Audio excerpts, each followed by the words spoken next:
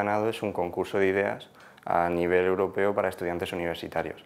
Se presentaron 571 estudiantes de 26 países y yo fui uno de los seis ganadores, porque se escogían seis ganadores porque las, las empresas que hacían este concurso eran seis empresas de logística de Europa.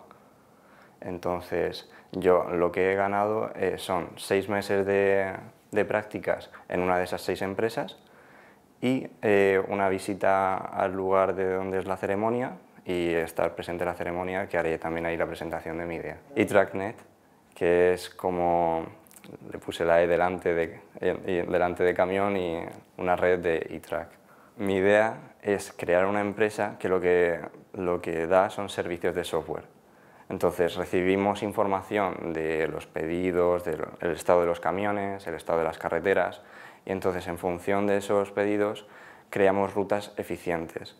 Entonces uno de los problemas que había era que los camiones en el 30% de las veces van o vacíos o casi vacíos. Entonces, eso es una pérdida de, combustible, de tiempo y de dinero para la empresa, aparte de que da más CO2, aumenta el tráfico, entonces eso de una manera se tenía que solucionar. Entonces, si todos esos datos los subimos a la nube y los procesamos ahí, podríamos crear rutas que eh, ese porcentaje se minimizase, por ejemplo, a un 2 o un 3%.